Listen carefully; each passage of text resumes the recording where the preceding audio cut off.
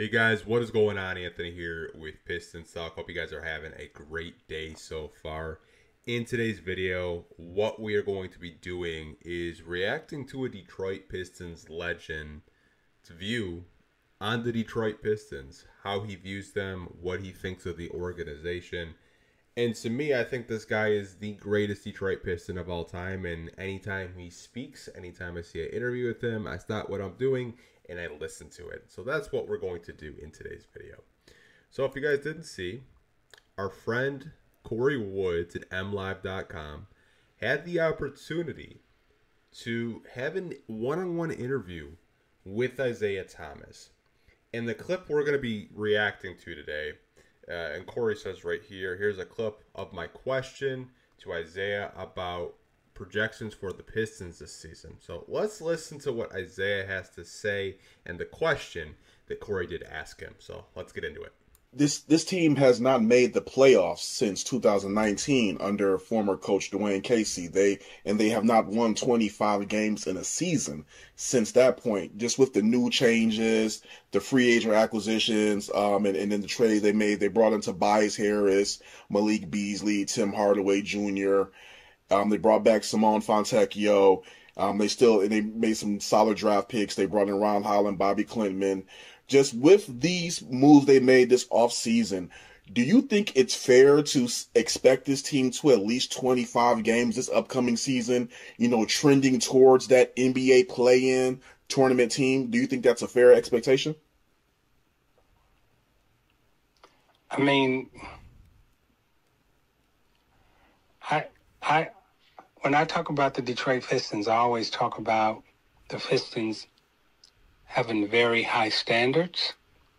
And at one point in time, you know, our goal was to be talked about in the same breath as the Celtics and the Lakers. Clearly, over the last 10 years or so, we've, we've fallen dramatically and I'm, to hear you ask a question about winning 25 games is so disheartening and disappointing to me that that's the bar and that's the standard. So there's a lot to dig into with what Isiah said, but I do want to give Kory just a huge shout out such a big interview. Getting cited by ESPN last night and getting cited by Bleacher Report throughout the day. Like, so happy for him. Happy that he's getting all of this recognition from big media because I know how hard that guy works. He deserves it. So shout out to Kory. But getting back to what Isiah said.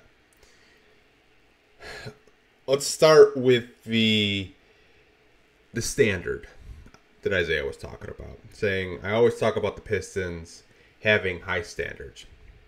And I think when you talk about Isiah Thomas and you talk about the Bad Boys, and then the overlap from the Grant Hill era, and then the overlap to the Goin' to Work Crew, the Pistons are an organization that has not one, not two, but three NBA championships.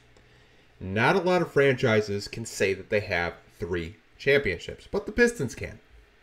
Isiah and his team won two back to back and the Goin' to Work crew with Chauncey, Ben, Rip, Tay, all those guys, Sheed, they won one in 2004, but they had a lot of success between 2002 and 2008, making six straight Eastern Conference finals. That is not something a lot of teams and organizations can say that they've done. Pistons have. To Isiah's point, the Pistons standard was really high, really high. From 2009 to you know 2024 basically the standard really hasn't been that high. The bar has been set pretty low. I know they've there's been years where they they won 44 games in 2016 they got swept by the Cavs. Uh, they went 41 and 41 with Blake Griffin got swept by the Bucks. Uh, and they've been rebuilding since 2020 with no sense of direction the standard's been really low just it's been a complete mess. And to hear just the disappointment in Isiah Thomas's voice with this interview.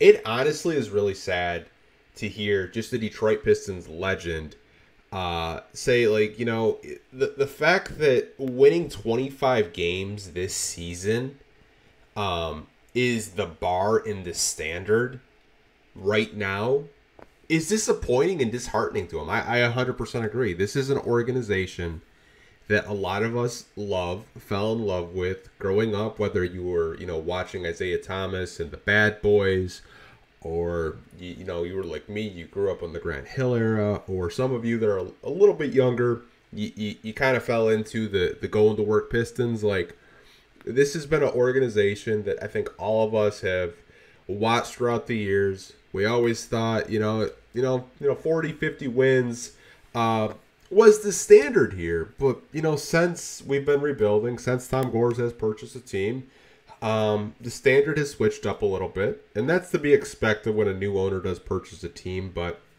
Tom Gores purchased a team in 2011. We're in 2024, and we haven't got anything better than an eight seed. There hasn't really been any clear cut direction. We've gone through multiple head coaches, uh, multiple front offices. I'm with Isiah. Um, I think you know, obviously we won 14 games last year, and that was just so hard to go through as fans, um, podcasters like myself, trying to stay positive for you guys. Um, personally, I- I'm with Isiah. I think the bar is set really low. Uh, 25 wins this season. I think some of you might you know jump up and down and cheer, but I'm kind of with Isiah. Uh, I, I think the the bar and the standard has been set so low that if we win 30 games, we're jumping up and down. But I think the diehard Pistons fans that you know watch the Bad Boys, watch the Go in the Work crew, like they're they're not jumping up and down uh, because this used to be a great organization, a great franchise, and just you know, leadership wise from top to bottom, it just hasn't been that. Now I'm hopeful that Trajan Langdon and his new front office can get get the ball back rolling because um, you know, we, we, we went through this, you know, the Stan Van Gundy era. That was okay.